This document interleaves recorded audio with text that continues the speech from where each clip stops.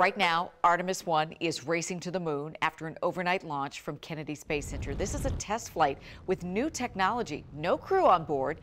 The mission is scheduled to last 25 days with Artemis circling the moon twice and returning to Earth with a splashdown off the coast of San Diego. What NASA learns from this mission will help get astronauts back on the lunar surface perhaps within three years.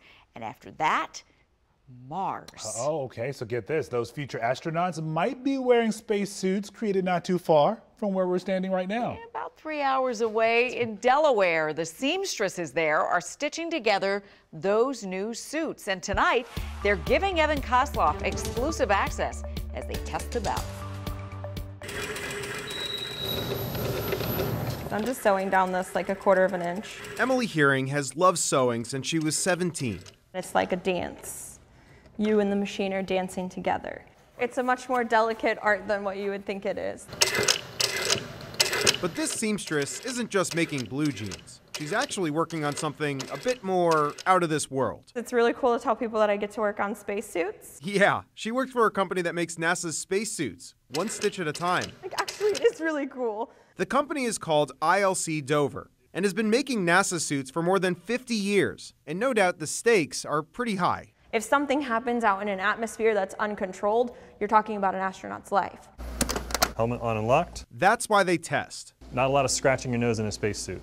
Luke Marshall is putting on the suit to make sure that this suit is space ready. Go ahead and do the handrail grabs. Today he's being led by engineer Peter Vanderklay, who says they test routine motions hundreds of times to make sure that the suit can hold up in space. There's a lot of wearing and tearing that happens, and we want to make sure that the materials can survive the length of the suit or glove life.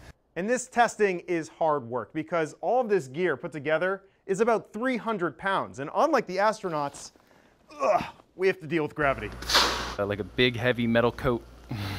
with the helmet now off, Luke told us why this work matters to him. You think about it every day, you're like, I have to get these reps because you don't want that going up if it's not safe.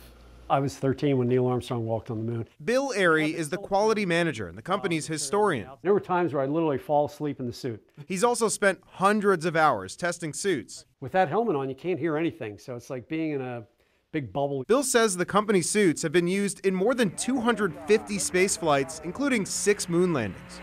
It's one small step for man, one diathlete for man. if you think about it, there's that, that famous picture of Buzz Aldrin on the moon, right? And it's such a famous picture. And, and yet it was built right here, and that outer layer that you see, that whole part of that suit was built right here in Frederica, Delaware. A small town company with an extraterrestrial reach, with their walls now filled with letters from thankful astronauts.